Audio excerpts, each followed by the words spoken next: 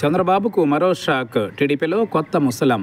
సార్వత్రిక ఎన్నికల ముందు టీడీపీకి వరుస షాకులు తగులుతున్నాయి. కూటమితో పొత్తు పార్టీ అధినేత చంద్రబాబుకు కొత్త తలనొప్పులు తీసుకొస్తున్నాయి. గతంలో ఎప్పుడూ లేని విధంగా నేతలు అధిష్టానంపై తిరుగుబాటు చేస్తున్నారు.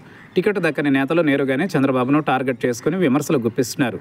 ఎంత బుజ్జగిస్తున్నా అసంతృప్తులు దారికి రావడం లేదు. దాదాపు ఇరవై నుంచి ముప్పై నియోజకవర్గాలలో ఇదే పరిస్థితి కనిపిస్తోంది. నేతల మధ్య వర్గపోరు తారాస్థాయికి చేరుకుంది. పార్టీ గెలుపునకు సహకరించేది లేదని అసంతృప్తులు బహిరంగంగానే తెగేసి చెబుతున్నారు. వ్యతిరేకత ఎక్కువ కావడంతో చంద్రబాబు ఇప్పటికే రెండు నియోజకవర్గాలలో అభ్యర్థులను మార్చారు. ఇప్పటికే పి. గన్నవరం అభ్యర్థి రాజేష్ మహాసేన పేరును ప్రకటించిన తరువాత ఆ స్థానాన్ని జనసేనకు కేటాయించడం జరిగింది. రఘురామకృష్ణంరాజు కోసం ఉండి నియోజకవర్గం అభ్యర్థిని పక్కన పెట్టాల్సిన పరిస్థితి ఏర్పడింది. అనపర్తి అభ్యర్థిని మారుస్తారనే ప్రచారం జరుగుతోంది. తాజాగా మాడుగుల నియోజకవర్గంలో కూడా అభ్యర్థిని మార్చే యోచనలో ఉన్నట్లు సమాచారం అందుతోంది. మాడుగుల నియోజకవర్గం టీడీపీ అభ్యర్థిగా పైలా ప్రసాద్ పేరును ప్రకటించారు. అయితే ఆయన అభ్యర్థిత్వంపై తెలుగు తమ్ముళ్ళు తీవ్ర వ్యతిరేకత వ్యక్తం చేస్తున్నారు.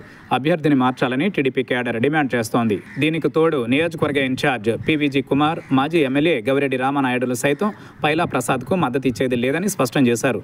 పైలా ప్రసాద్పై తీవ్ర వ్యతిరేకత వ్యక్తం కావడంతో అప్రమత్తమైన టీడీపీ అధిష్టానం అభ్యర్థి మార్పు దిశగా ఆలోచన చేస్తోంది. ఈ నేపథ్యంలో మధ్య మార్గంగా మాజీ మంత్రి బండారు సత్యనారాయణమూర్తి పేరు తెరపైకొచ్చింది.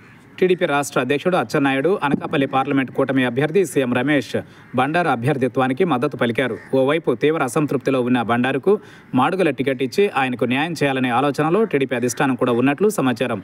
ఈ నేపథ్యంలో ఉండి అనపర్తితో పాటు మాడుగుల అభ్యర్థి మార్పును కూడా ఒకటి రెండు రోజుల్లో ప్రకటించే అవకాశం ఉందని టీడీపీ వర్గాల సమాచారం.